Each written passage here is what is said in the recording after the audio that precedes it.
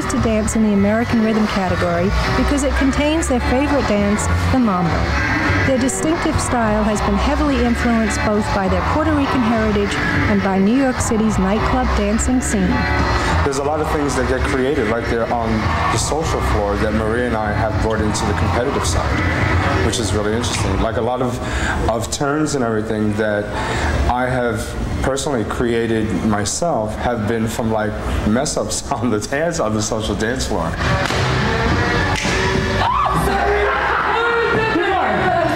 But dancing competitively is a whole different world, requiring a near flawless performance. On a competition dance floor, you're expected to look perfect. Your feet have to be perfect, your appearance has to be perfect.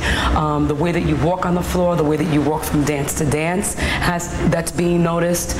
Um, you're really put on the on the plate and you're dissected um, from head to toe and from inside out.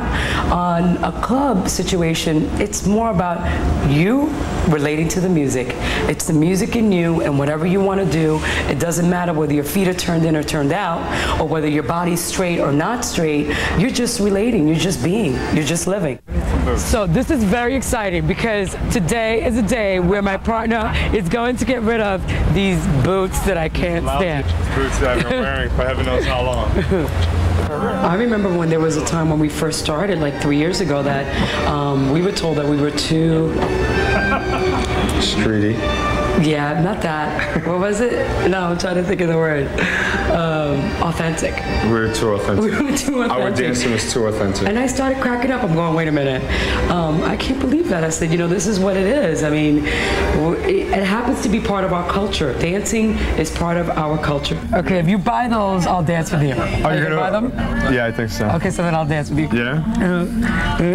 I think that for us, being the only ethnic couple on the floor, we stand out anyway. I used to feel uncomfortable about it, but I don't anymore. I like being different. I like being the fact that people go, who's that couple? Right. You know, who's the Puerto Rican couple in the corner? Really? Where are they from? you know, it's kind of cool. Angel, say goodbye. Don't cry. Goodbye. Say good. Goodbye. Love you. Mean it. There you go. cool. God. The feeling of dancing for me is because I feel it in my gut. It's in my heart. I've I feel dancing from the floor up. Um, there's nothing better. It's inside. I have to move. Even if there's no music on, I move. I don't need the music to dance. You know, walking down the street to me is dancing. I watch people every day doing cha-cha, foxtrot, whatever, just getting out of each other's way. I love it. God gave me a gift to be able to, to move and to be able to express myself in a different way. And I have the pleasure of being able to cultivate that and to know that I can, uh, in life, I can do something that um, I, a lot of people wish they can do, is express themselves without even having to say a word.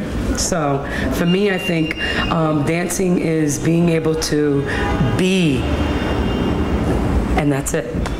Your finalists for 1997 are presenting the Cha-Cha, couple number 141, Angel Figueroa and Maria Torres.